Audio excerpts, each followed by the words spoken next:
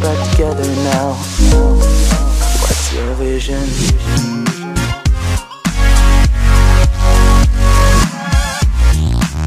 Biggest explosion to rock planet Earth in the history of civilization. A blast that devastated deep frozen Siberia. This was an assault more powerful than a thousand atomic bombs, and one that destroyed everything in its path.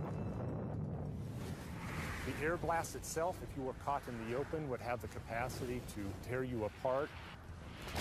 Horizon to horizon was nothing but utter devastation. This century-old disaster remains one of the most terrifying and hotly debated mysteries in all of science.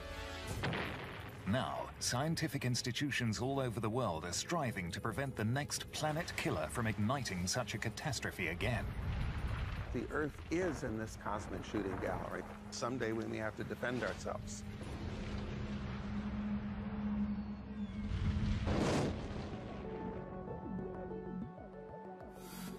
7 a.m., New York. The city that never sleeps begins a new day with its customary energy and optimism. Streets fill with cars and pedestrians. Underground trains are packed with commuters. But this morning is anything but typical. Out of nowhere, a cosmic fireball as bright as the sun barrels down from the Earth's atmosphere towards upper Manhattan. Without warning, the tongue of fire suddenly explodes with a supersonic roar five miles above the city.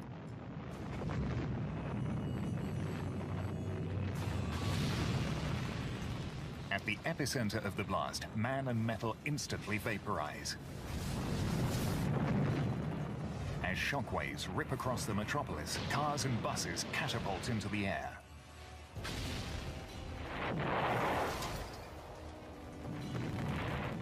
Buildings are pulverized.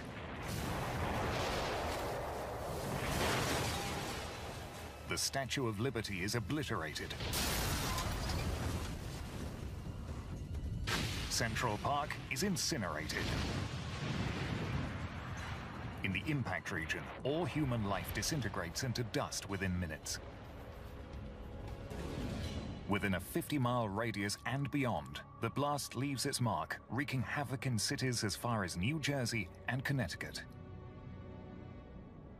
This chilling hypothetical scenario is not the result of a terrorist attack, but something potentially more lethal.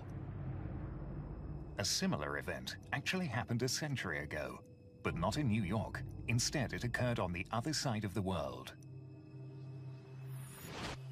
The 30th of June 1908, 7.15 a.m. Central Siberia had barely thawed from its winter covering of ice.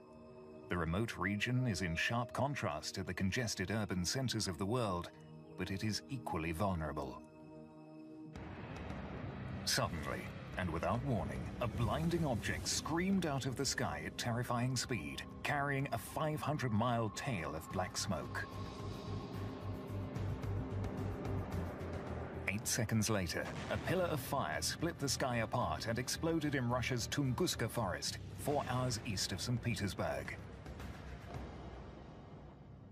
It was the loudest, the most fierce, forceful explosion known in the history of civilization.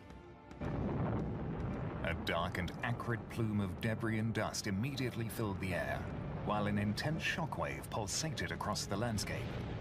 This was followed by a 25,000 degree Kelvin hot air blast, which engulfed almost 1,000 square miles of forest. Trees flattened instantly and were set on fire. The air blast is going to be picking up the debris that has been collapsing and launch it like a shotgun in all directions. If you were caught in the open, would have the capacity to tear you apart. Many miles from the explosion, tribespeople were hurled into the air. Herds of reindeer were burned to death.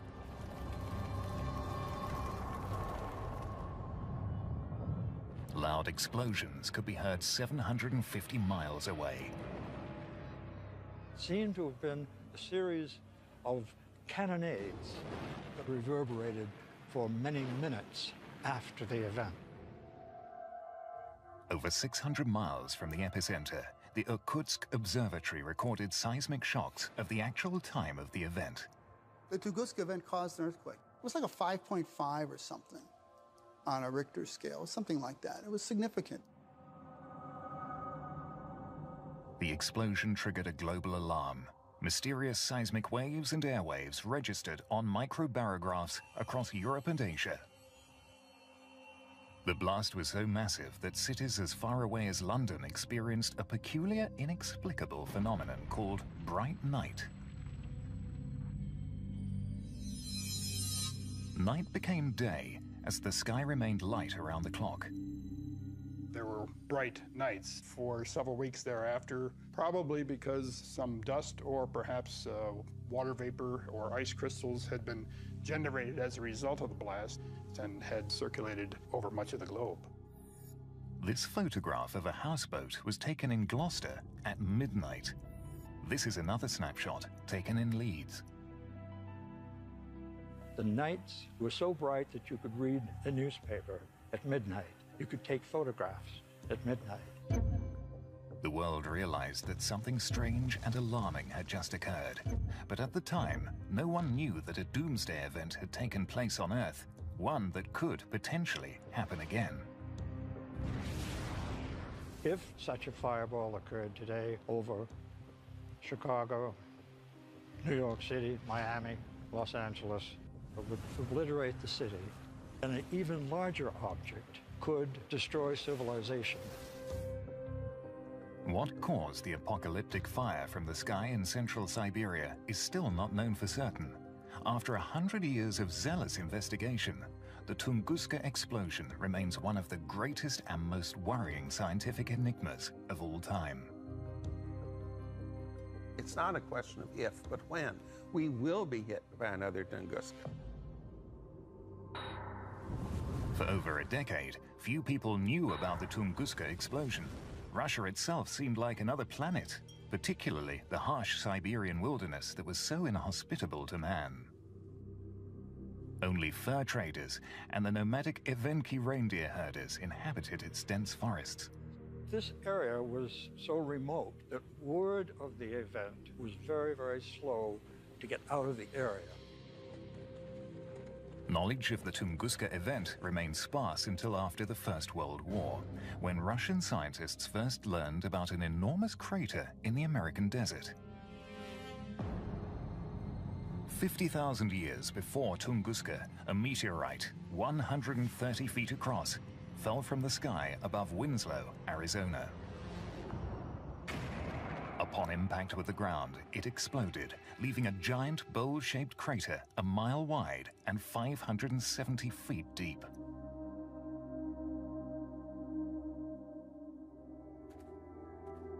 Planetary geologist David Kring is one of the world's foremost experts on meteor crater. We are at Meteor Crater in northern Arizona, which is the world's best preserved impact crater site. Meteor Crater was produced by a large, very strong iron asteroid. It actually was able to penetrate completely the Earth's uh, atmosphere and detonate behind me, producing this impact crater. Meteorites are essentially shattered asteroids, which are the rocky leftovers from the formation of the solar system. While out in space, these pockmarked rocks are called meteoroids.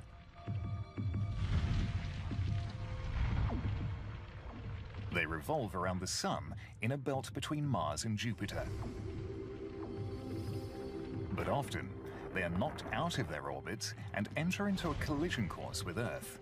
When they penetrate the Earth's atmosphere, they become meteors. If they impact on the ground, they become meteorites. Littering the landscape are fragments of the iron asteroid that produced Meteor Crater. This is a moderate sized example. These are very dense uh, rocks and so very, very heavy because they are composed almost entirely of iron nickel metal. And Meteor Crater, geologists spent decades digging for remnants of the iron meteorite, which could yield precious minerals, namely iron, nickel, and platinum. By 1920, news of Meteor Crater's potential riches attracted the new Soviet government.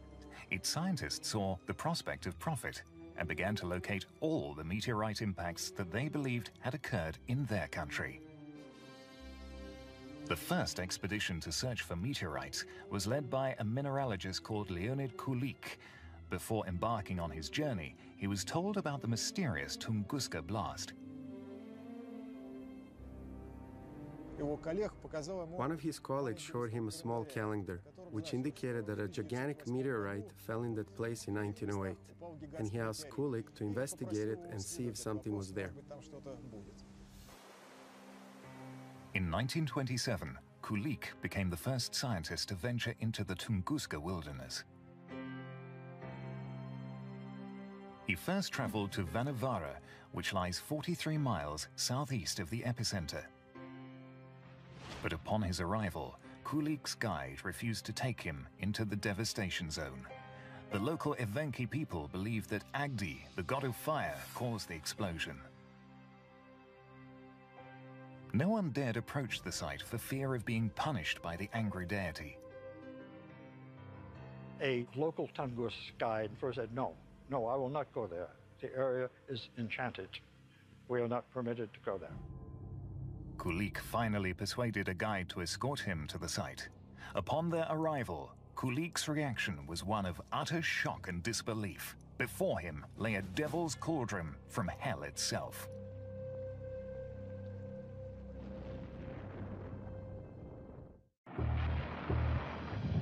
In one of the greatest cosmic mysteries of the last century, an apocalyptic fireball exploded in central Siberia in 1908.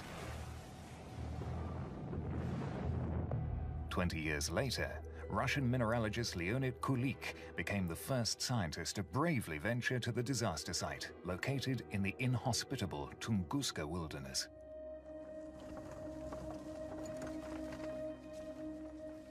His first impression was absolute horror. Kulik was dumbfounded. Before him, from horizon to horizon, was nothing but utter devastation. A marshy basin was strewn with over 80 million fallen trees.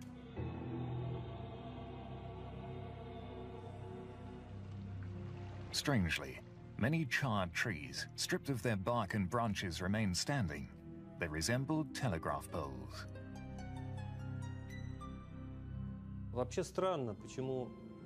In general, it's strange. Why did a portion of the trees fall instantly, row after row, and a portion of the trees remain standing? Why did this happen? What began as a treasure hunt became an academic mystery tour. Between 1928 and 19 died directly from the blast because the local tribespeople lived far enough away from its epicenter but the survivors felt as though they were experiencing the end of the world. The event actually knocked their tent up into the sky. One of the eyewitnesses said it flew like a bird. Everywhere, trees were being blown down, the ground was shaking, and fires were spontaneously taking off all over the place. One man was thrown off his feet, his arm was broken. There's one individual, the heat from the blast was such that he, he felt as though his, his shirt was on fire.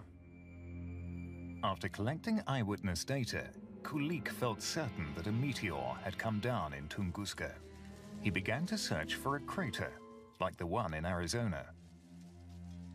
A hundred years ago, our understanding of impact cratering processes was very primitive. In the case of Tunguska, the scientists began looking for a large bowl-shaped cavity. They didn't find a cavity nearly as immense and dramatic as you see behind me. Instead, Kulik discovered a dozen inexplicable swampy depressions that resembled lunar craters. He concluded that a swarm of meteorite fragments must have created them. Kulik first dredged out the water and then proceeded to excavate the largest hole.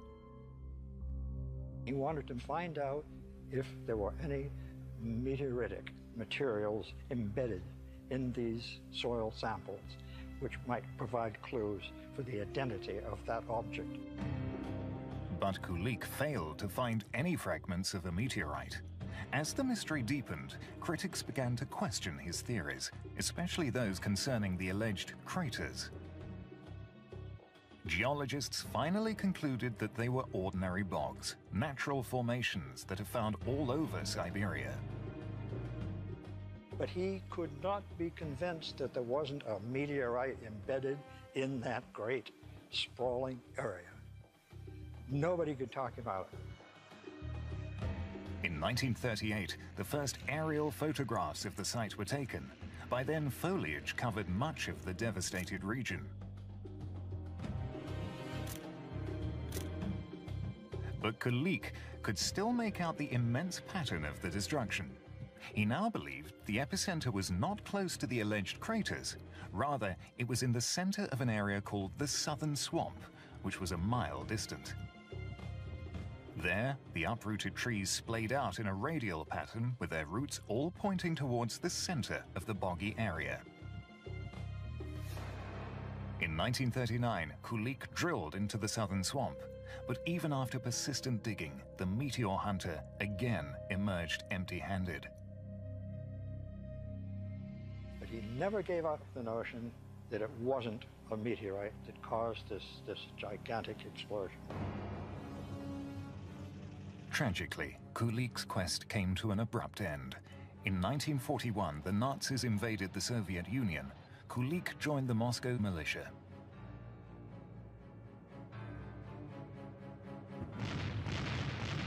He was wounded and captured during the height of the battle. In April 1942, he died in a German prison camp. The pioneering researcher was gone. But the events of the Second World War were to open a new and dark chapter in the Tunguska mystery. In 1945, Alexander Kazantsev, an engineer, made a study of the atomic bomb that was detonated over Hiroshima. He made an extraordinary observation. He noticed intriguing similarities between the nuclear blast at Hiroshima and the Tunguska event.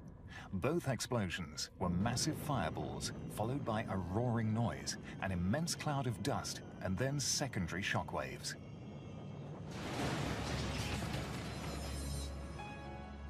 Another startling comparison was the mass of charred upstanding tree trunks in the epicenters of both Hiroshima and Tunguska. How could they have survived the blast? In the center, almost completely unharmed tree trunks were standing, only the side branches had fallen off, but everything that was far away from the epicenter fell down. There were some trees that were actually left standing just below ground zero because the blast just above them was symmetric. That is, uh, the forces uh, were symmetric on all sides, and so the tree was burned, but it wasn't knocked down. Up until the 1940s, scientists assumed the maximum damage from a meteorite would occur at the epicenter or place of impact. But the actual consequences of the atomic bomb only deepen the mystery of what really happened at Tunguska. And it was Kazantsev who first said that it was possibly a nuclear explosion that took place in the air. By measuring the devastated forest area, the scientists made an unsettling discovery. They concluded the Tunguska blast released energy yielding 15 megatons of TNT, a thousand times greater than that of Hiroshima. This meant the Tunguska event could have obliterated a large modern city and more, and that every urban center in the world was a potential target in the event of a future impact. But how was it possible that a nuclear explosion could have taken place 40 years before the atomic bomb was invented? The Russian engineer Kazantsev, after considering the similarities between an atomic explosion and the Tunguska evidence, along with the lack of a crater, came to an unnerving conclusion. He decided that the blast was nuclear and it was caused by a life form unknown on Earth. Then Kazantsev asked, is it possible that this atomic bomb was brought from some extraterrestrial place?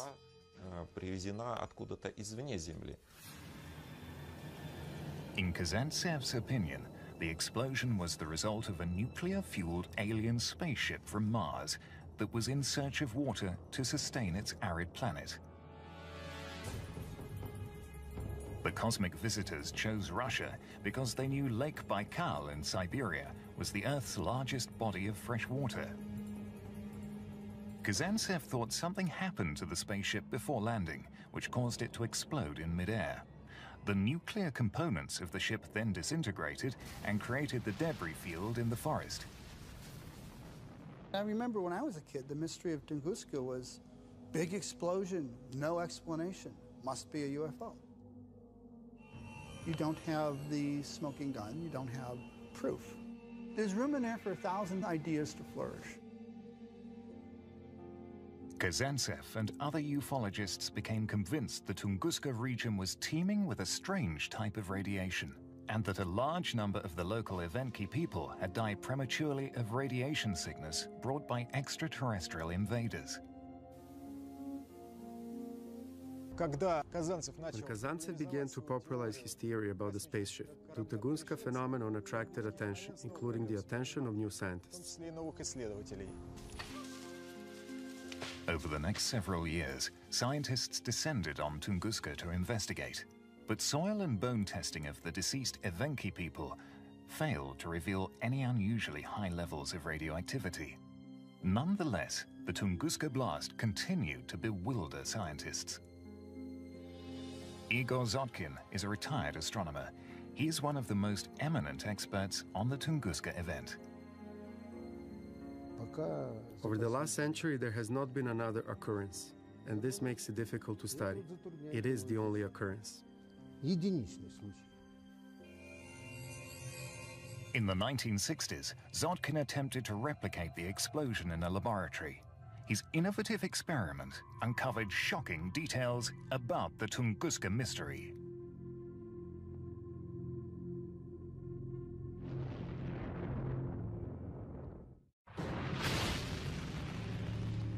A colossal explosion in a remote forest in central Siberia remains one of mankind's most baffling scientific puzzles. Researchers wondered if a celestial object, such as a meteor or even a UFO, could actually explode in midair and as a result cause massive destruction on the ground. In the mid-1960s, the respected Russian astronomer Igor Zotkin with his colleagues constructed a scale reproduction model of the Tunguska forest out of plywood with metal wire pegs for trees. Above the model, an explosive charge was detonated. But to their amazement, the shockwaves toppled the pegs in a butterfly pattern, a similar configuration to the fallen trees in Tunguska. And trees directly below the epicenter of the explosion remain standing, just like the trees at the blast site. We tested different slopes, different heights. At the end, we determined the correct angle of the flight and the proper charge. We recreated the destruction of the forest into the shape of a butterfly.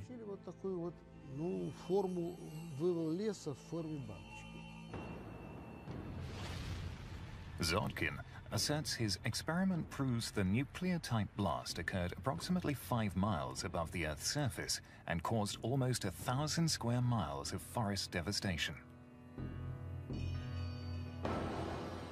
But how could a meteorite cause such an explosion without leaving any trace of its existence? Russian scientists reanalyzed Kulik's soil samples taken in 1930. They also extracted current microscopic samples from the site using more sophisticated magnetic instruments than were available to Kulik. No traces of meteoric matter were found in either sampling. As a result, many experts came to think that something else struck Tunguska, a comet. Historically, people wanted it to be a comet. And the reason is that there's nothing there. There's no meteorite there. And, and so there's no crater there. And the thought that that's what a comet would do was the, will pop in your head. In outer space, comets resemble dirty snowballs. They are composed of a mixture of water ice, dust, carbon dioxide, methane, and other minerals and frozen gases. Like asteroids and meteoroids, comets are fossil remains left from the creation of the solar system. Beyond the planet Neptune, there's a special reservoir of comets which travel in what's called the Kuiper Belt. At times, a comet is nudged out of the Kuiper Belt and travels towards the Earth's orbit. As it moves closer to the Sun, the comet's ice begins to vaporize, releasing jet streams of gas and dust in the form of a long tail. It is proposed that such a comet's icy gaseous makeup could suddenly disintegrate many miles above the Earth's surface and vaporize. This could produce mass devastation on the ground, but at the same time, not leave any traces visible to the human eye. In this case, of course, it's a comet. Why? Up to this point, not a single gram of matter from the Tunguska meteorite has been found. Astronomer Vitaly Romeiko has been documenting the findings of his expeditions to the site since 1966. He and others recorded the rapid regrowth of the trees immediately after the 1908 explosion. Over the years, chemists have measured the carbon-14 in the Tunguska trees. Carbon-14 is a radioactive isotope of carbon. It's found in tree rings, which can date its annual growth. Some scientists claim to have found elevated levels of carbon dating from the year 1908, and carbon is a major component of comets. So is it possible that some kind of cosmic matter, a comet or something similar, fell upon the Earth and incited this tree growth like a fertilizer?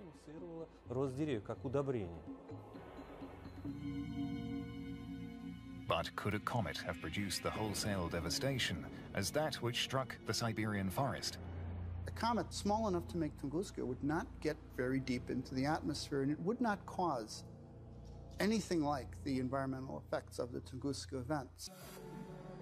In 1993, the experts developed a whole new theory of what hit Earth in 1908, a type of intergalactic ballistic missile they called a stony asteroid. When we suggested that it was not a comet, but it was an ordinary stony asteroid, our point of view was met with unhappiness, bordering on disdain. Solid iron asteroids tend to impact the ground like the one that created Meteor Crater in Arizona. In contrast, structurally weaker stony asteroids of the same size tend to fragment on entering the Earth's atmosphere.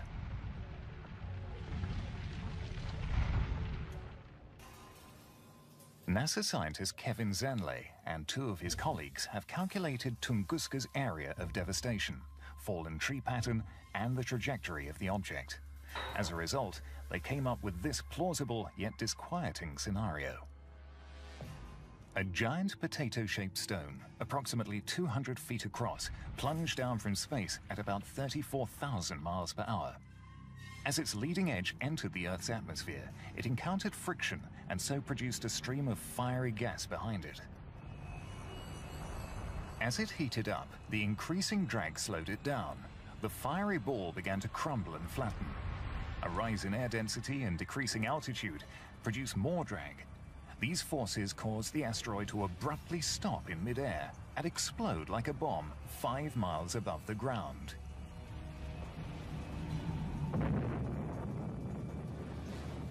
If it's a stone, it's not going to quite reach the ground if it's that size. It's going to blow up in the air. Be torn apart by aerodynamic forces, which fits the overall description of what the Tunguska event did. But the stony asteroid theory still poses thorny questions. Why, for example, is there no physical evidence of the event? When the Tunguska asteroid exploded in the atmosphere, it may have sent rocks down to the ground, but it's a swamp.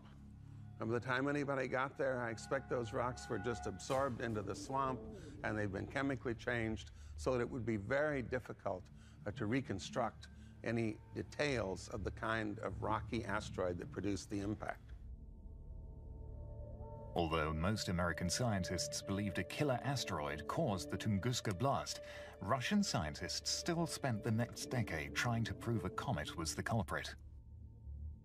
At Moscow State University, cosmic chemist Yevgeny Kolesnikov has spent over 30 years trekking to Tunguska in search of physical evidence. In recent years, he and his wife Natalia announced they'd found the smoking gun. The size of uh, cosmic dust particles it's very small, about uh, half of micron. So uh, we can't see these particles even under the microscope. Instead of examining the soil, the Kolesnikovs found microscopic comet material in peat dug up from the bogs. They capture cosmic matter very well, and it is possible to date them. So you can look at a layer of peat and determine that it contains material from 1908.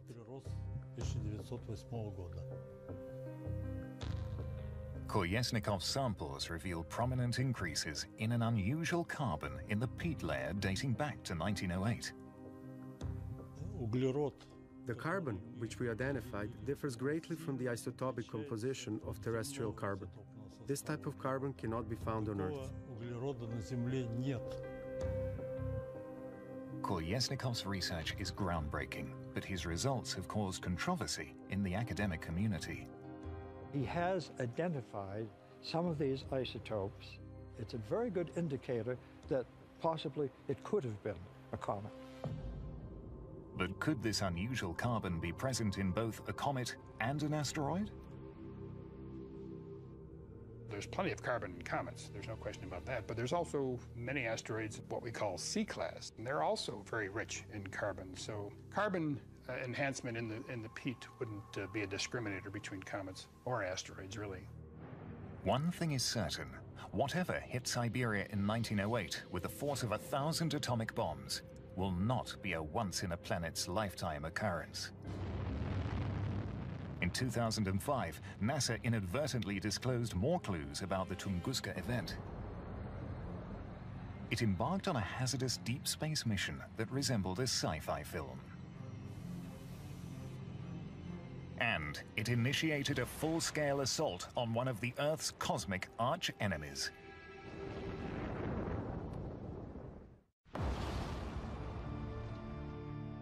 A violent explosion in the Siberian wilderness a hundred years ago has encouraged scientists to engage in a battle of wits and wills. We need to know what caused the enormous thousand square mile debris field. And when and where will such an event strike again? Since the 1950s, a number of Russian scientists have proclaimed a comet to be the cosmic villain.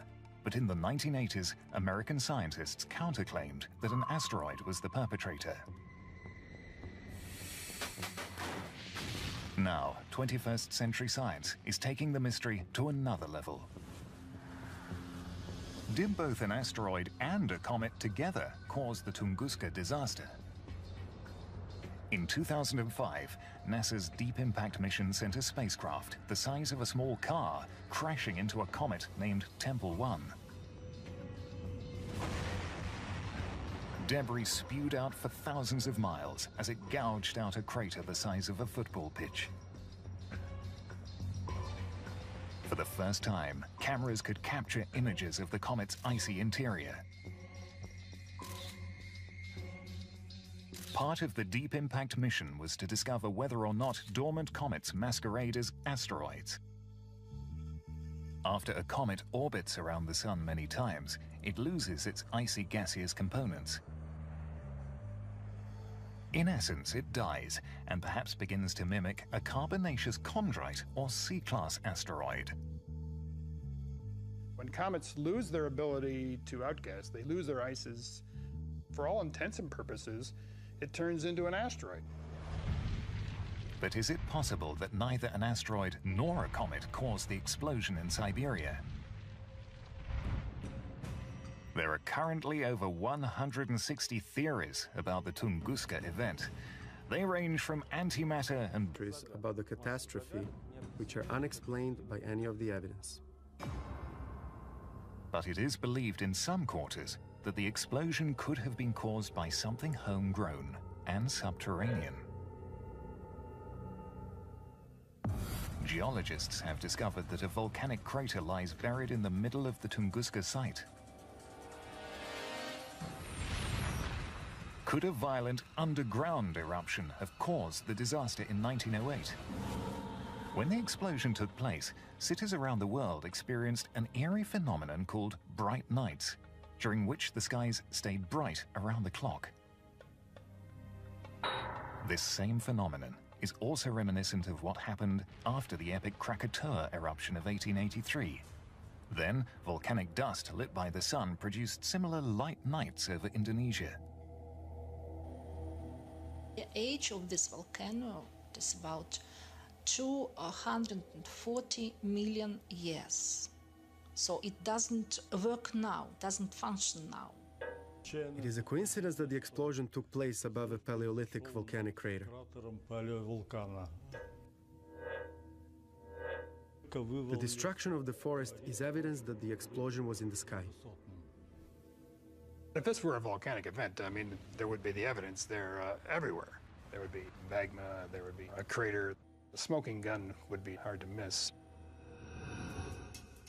The Russian physicist Andrei Olkovatov has perhaps the most chilling of all the theories that Tunguska was perhaps a catastrophic disaster which combined a series of violent events from above and below ground.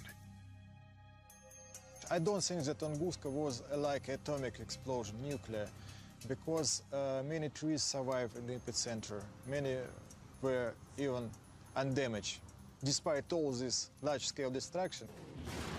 According to Olkovatov, if this phenomenon were to be repeated above a big city, it would exemplify a combination of the perfect storm, like a hurricane, tornado, and earthquake, all happening simultaneously. Olkovatov composed this geophysical scenario while reading eyewitness accounts of earthquake lights, a strange glow that sometimes occurs in the sky before, during, and after a large quake.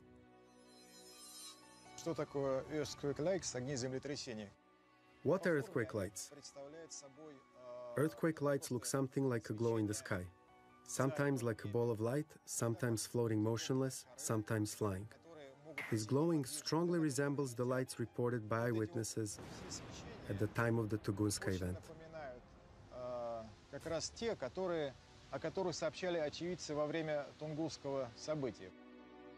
At the time of the Tunguska event, a 5.0 earthquake was registered, so Olkovatov insists his research should be investigated further. Could a combination of natural disasters have produced a great fireball that hit planet Earth in 1908? To this day, what really caused the atomic-like explosion in the wilderness of Siberia a hundred years ago remains a conundrum. But many experts agree that a similar disaster will happen again somewhere in the world, and, depending on where it strikes, potentially cause mass annihilation. With growing concern about an impending global catastrophe, physicists from many countries are proposing that future investigations not be focused only on outer space, but also on earthly phenomena that can hopefully shed light on avoiding possible future disasters. One such is ball lightning, an oddly shaped bolide of possibly ionized gas. Unlike normal lightning, this rare phenomenon reportedly can exist for almost 30 seconds before exploding with a sudden bang. I cannot definitely say that ball lightning was connected with the explosion in Tunguska. But this phenomenon is very dangerous because 30% of ball lightnings uh, finish their lifetime with explosion.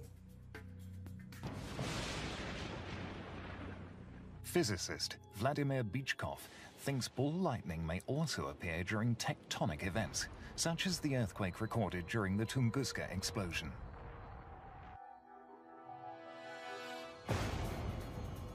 He and others think that a large ball lightning event could yield enough heat and energy to cause the devastation that occurred in Siberia. But the ball lightning theory attracts considerable skepticism. We studied how lightning damages trees, and it is possible. Possible that lightning balls could exist, but that a lightning ball caused Tunguska seems unlikely to me. Controversial theories continue to surface, but asteroids and comets remain the prime suspects. Italian investigators from the University of Bologna have made videotapes of their expeditions to the Tunguska region since 1991. This crack team of scientists is confident they've discovered cosmic fingerprints inside the resin of the spruce trees that survived the 1908 blast. Researchers drilled out the cores of the trees to extract resin. The fluid resin present at the moment of the 1908 event could have acted as a trap for airborne cosmic particles. To their amazement, they found 14 elements all commonly associated with stony asteroids. These included iron, titanium, and nickel. All of these elements are abundant in asteroids, uh, but not nearly so in comets. The Italians appear to have found microscopic remnants of the Tunguska cosmic body, and all signs point to a stony asteroid.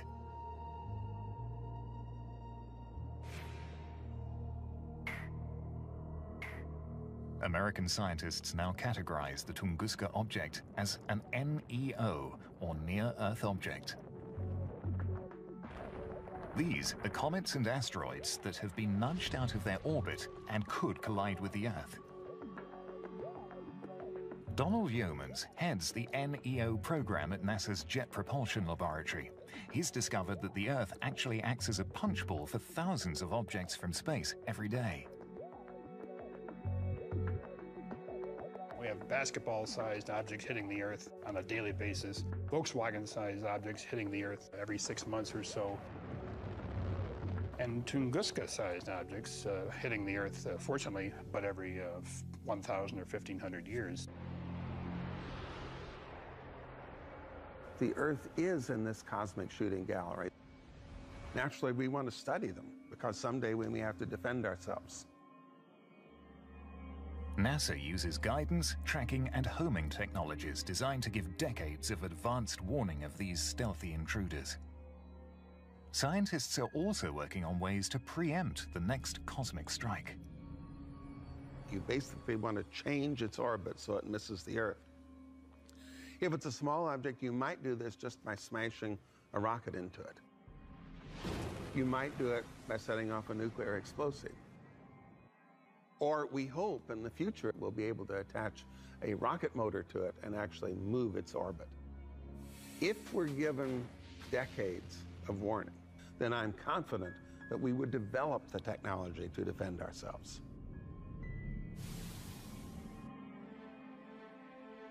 The challenge of Tunguska is twofold. First, to identify what hit our planet, and then prevent it from happening again. We cannot say definitely what it was, but we are going to continue looking. With so many hypotheses, so many different points of view, I'm sure that each will hold to his own opinion. But there is only one truth. The jury has yet to reach a verdict on this century old question, as the fate of human civilization hangs increasingly in the balance. The Tunguska event is worth studying because it's important. We must know what could happen to us if, God forbid, this was repeated.